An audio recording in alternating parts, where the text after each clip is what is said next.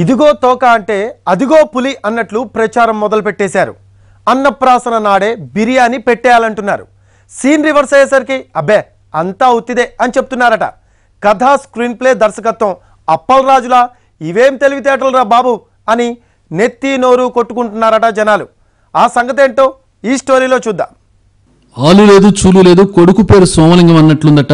ఏపీలో మంత్రి పదవి ఆశిస్తున్న కొందరు ఎమ్మెల్యేల పరిస్థితి. కేబినెట్ బెర్త్ కోసం ట్రయల్స్ వేస్తున్న వారి జాబితాలో శ్రీకాకుళం జిల్లా పలాస ఎమ్మెల్యే డాక్టర్ సీదిరి అప్పలరాజు కూడా చేరిపోయారు. తొలిసారి అసెంబ్లీలో అడుగుపెట్టి అధ్యక్ష అని అన్నప్పటి నుంచి అప్పలరాజుకు మంత్రి అని పిలిపించుకోవాలన్న కోరిక పుట్టిందట. ప్రస్తుతం మోపిదేవి పిల్లి బోసు రాజీనామాతో ఖాళీ అవుతున్న స్థానాల్లో దూరిపోవాలని ఫోకస్ పెట్టారట.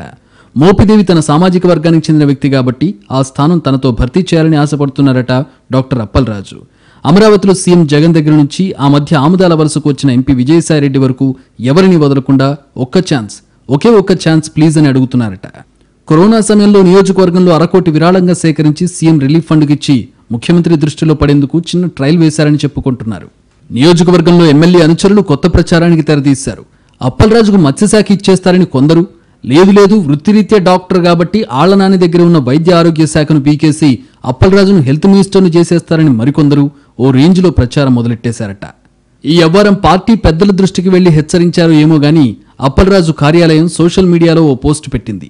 ఎమ్మెల్యే అప్పలరాజుకు మంత్రి పదవి ఇవ్వలేదని అప్పలరాజు పలానా మంత్రి అని ఎవరూ ప్రచారం చేయొద్దని ఆ పోస్టులో కోరారట. జిల్లా సమస్యల పరిష్కారం కోసమే సీఎం జగన్ అపాయింట్మెంట్ కోరినట్లు వివరణ ఇచ్చారట. అయితే కొందరు మత్స్యకార సామాజిక వర్గం పెద్దలను వెంటబెట్టుకుని అప్పలరాజు అమరావతి ఎందుకు వెళ్ళారన్న దానిపై జనాల్లో చర్చ మొదలైందట. ఈ ఎపిసోడ్ అంతా చూసిన వారికి కథ స్క్రీన్ ప్లే దర్శకత్వం అన్ని అప్పలరాజే అన్న కామెంట్స్ చేస్తున్నారట పార్టీ శ్రేణులు. స్పీకర్ తమ్మినేని సీతారాంను మంత్రిని చేస్తారని ప్రచారం జరుగుతున్న సమయంలో అప్పలరాజు హడావిడి ఏంటని చెవులు కొరుక్కుంటున్నారట. వాస్తవానికి ఏడాదిగా ఎమ్మెల్యేతో పాటు ఆయన కుటుంబ సభ్యులు దూకుడికి అంతా బెంబేలెత్తిపోతున్నారట. మరి ఆయన మంత్రి అయితే ఇంకెలా ఉంటుందోనన్న చర్చ మొదలైందట.